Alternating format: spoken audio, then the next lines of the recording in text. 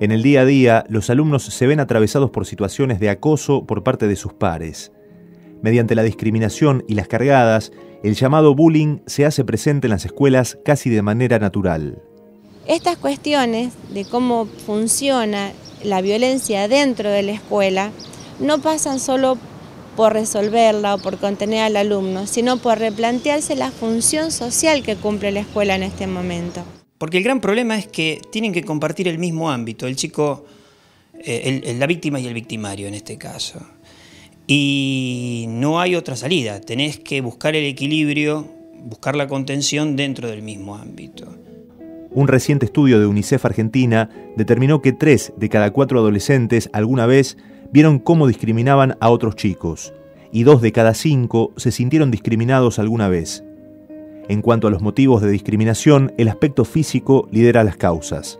La discriminación creo que eh, es importante que pensemos que esto tiene que ver con la dificultad que se presenta no solamente en las escuelas, o sea, que en realidad se ve reflejado en las escuelas y que tiene que ver con la eh, dificultad de poder aceptar las diferencias y esto se percibe socialmente.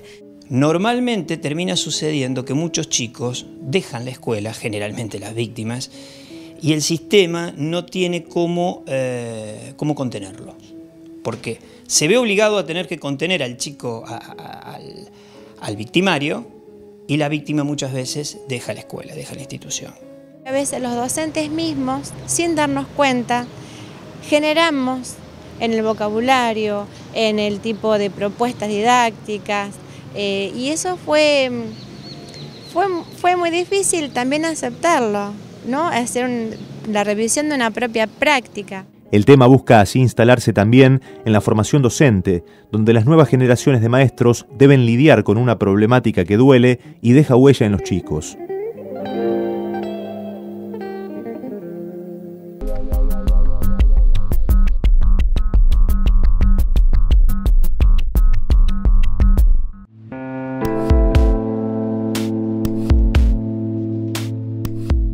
Ya sea por nacionalidad, la situación socioeconómica o el aspecto físico, lo cierto es que son varios los motivos por los que el bullying se hace presente en las aulas, llevando al aislamiento de los chicos atacados.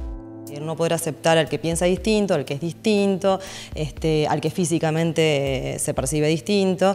Esto genera una gran intolerancia este, justamente a la diferencia y bueno, como consecuencia de esto este, tenemos los problemas de discriminación, agresión física, verbal, este, y bueno, como consecuencia de esto el llamado bullying.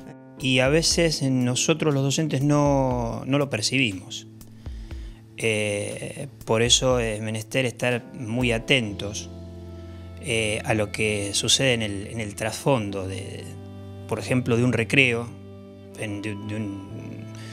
de, una conversación. Siempre tenemos que tratar de ir eh, sondeando qué es lo que pasa con nuestro grupo. Dentro de las paredes de la escuela se filtra lo social, porque la escuela no, es, no está aislada, no, es, no, está cerrado los muros. Con los chicos, con cada chico que ingresa a la escuela ingresa la problemática.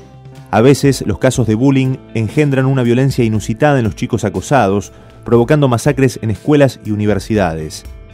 En Argentina, el caso más resonante parece ser el de una escuela en Carmen de Patagones, en 2004, cuando un chico de 15 años, apodado Junior, se cansó del hostigamiento y disparó contra sus compañeros, matando a tres e hiriendo a otros cinco.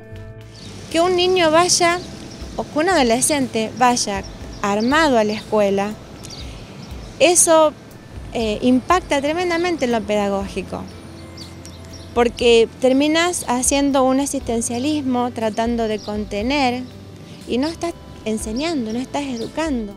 Lo único que podemos hacer, y, es muy importante que lo hagamos los docentes, es tratar de, de, liderar estas situaciones, de, de, meternos de meternos como líderes, de meternos como referente del límite que el chico no tiene. La irrupción de las redes sociales y la reproducción de videos por la web son sitios donde el acoso gana cada vez más terreno. En las redes sociales, la manera en que los medios de comunicación hoy eh, se, mueven, eh, mostrando permanentemente, repitiendo imágenes violentas, repitiendo eh, este, continuamente imágenes agresivas, hacen de que el chico, que es un imitador por, por excelencia, tome eso como referente. A veces uno piensa que un alumno eh, que ha sido agredido va a venir y va a contar y no siempre pasa, generalmente pasa al revés. Y el primer paso para un docente es abrir canales de expresión, poder hablar de esto.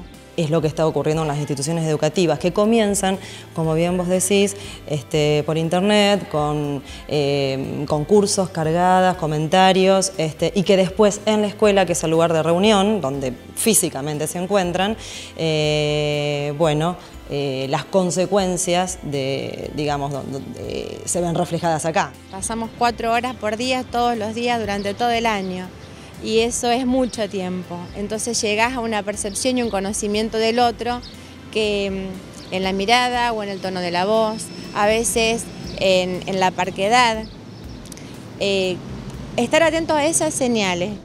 De allí que sea necesario cada vez más la mirada atenta de los maestros para detectar a tiempo estas situaciones y evitar que se transformen en tragedia.